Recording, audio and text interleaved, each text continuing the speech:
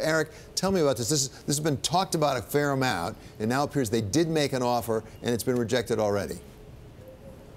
That's right. They made an offer on April 12th, Takeda said. So uh, uh, they were up against an April 25 deadline from the, the UK takeover panel to kind of declare their intentions or, or walk away. Uh, so now they have made an offer. It was rejected, Shire uh, Takeda says. Um, but the two sides are, are still talking. So, uh, do we know? I know it says it's part cash, part stock. Do we know how much was cash and how much was stock? Because one question was how Takeda was possibly going to finance this huge takeover. That's right. They've said about uh, 17 uh, out of the 46 uh, per share um, is in stock. So there, there's a big uh, there's a big portion of it that would have to be uh, that would have to be financed um, uh, by the banks. Uh, at the same time, this has been rejected. They say they're going to be continue to talk about it, although Takeda says they want to be disciplined. I suppose everyone always says they want to be disciplined. They don't want to bid up too high. Does this say anything about other possible interest in Shire?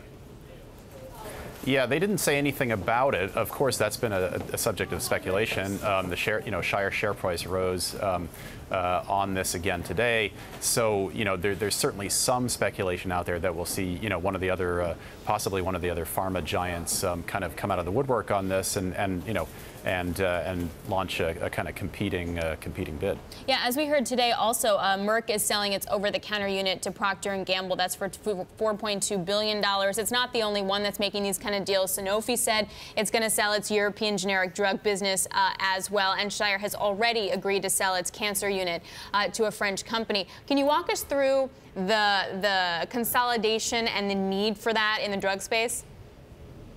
Sure. Yeah. As you said, there's just been a flurry of activity in the sector. Um, really, since um, since early this year, it's kind of accelerating.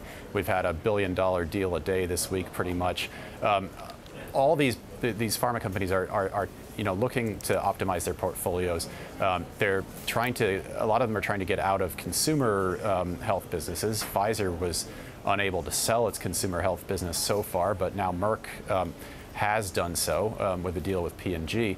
So um, that's one thing they're trying to get out of. They're trying to optimize their portfolios so they're they're stronger in, you know, in research, in developing drugs that that could be potential blockbusters.